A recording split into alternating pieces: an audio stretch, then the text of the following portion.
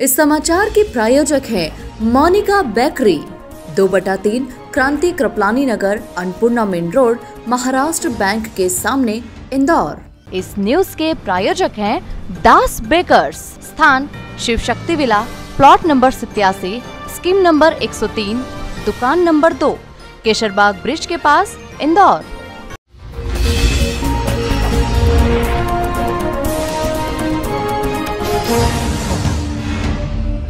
दरअसल शराब मामले में कई समन भेजने के बाद दिल्ली के मुख्यमंत्री अरविंद केजरीवाल ईडी के समक्ष पेश नहीं हुए।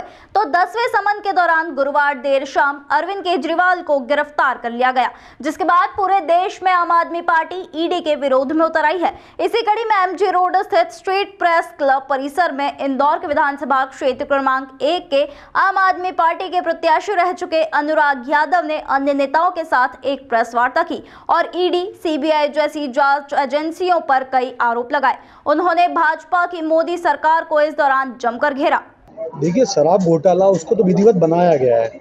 उनका मूल उद्देश्य था गिरफ़्तार करना, क्योंकि बढ़ती हुई लोकप्रियता आपकी।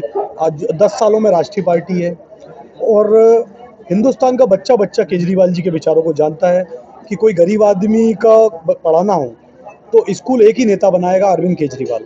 अगर अस्पताल बनाना हो तो उनको एक ही आशा है कि केजरीवाल जी ही बनवाएँगे। उन्हें मोदी जी से कोई आशा नहीं थी।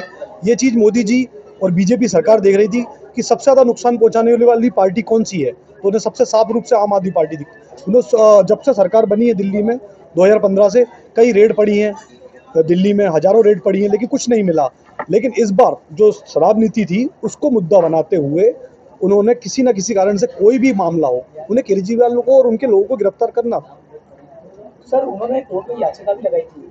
कि मेरी गिरफ्तारी ना हो मैं ईडी के उसमें बैठ जाऊँगा और चले जाऊँगा, पूछताछ में शामिल हो जाऊँगा।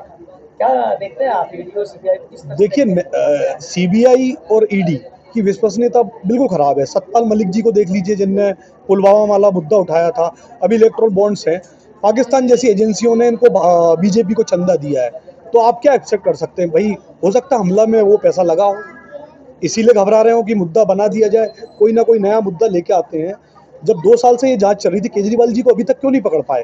क्योंकि उस टाइम राष्ट्रीय पार्टी नहीं थी इतना लोकप्रियता नहीं थी परंतु केजरीवाल जी के ऐसे काम है कि उनको भारी डर था कि ये पार्टी हमको हरा सकती है। जैसे केजरीवाल जी ने कहा था कि उनतीस में हम बीजेपी मुक्त करेगी आम आदमी पार्टी।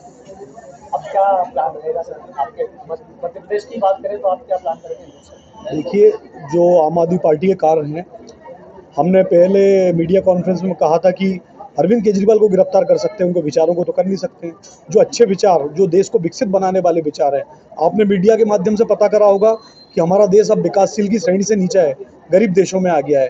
तो ये विकास है। एक नंबर पे मीडिया की है, जो गोदी मीडिया कह रही है कि ये मामला उनने पहले ही अपराधी बना दिया है, जबकि अभी बहुत सी बाकी हैं। पता चलेगा जब जाँच होगी। परंतु उन्हें मालूम रोकना था, लेकिन जो विचार अच्छे होते हैं सत्य की लड़ाई बड़ी मुश्किल होती है, लेकिन हमेशा जीत सत्य की होती है सत्यमेव जयते हमेशा हमने पढ़ा है वही होना है और साफ़ सुथरे हमको बाहर निकलना है और पूरे देश में आम आदमी पार्टी बीजेपी को हराई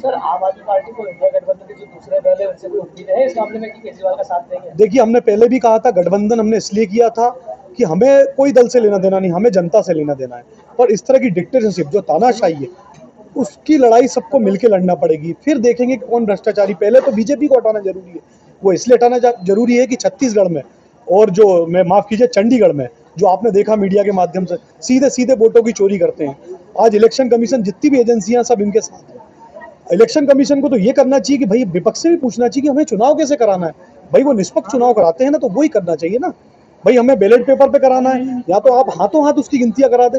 यही चीज़ सबसे ज़्यादा क्वेश्चन और प्रश्न करने वाली आम आदमी पार्टी तो वो आम आदमी पार्टी केजरीवाल को गिरफ़्तार करके रीट तोड़ना चाहती है।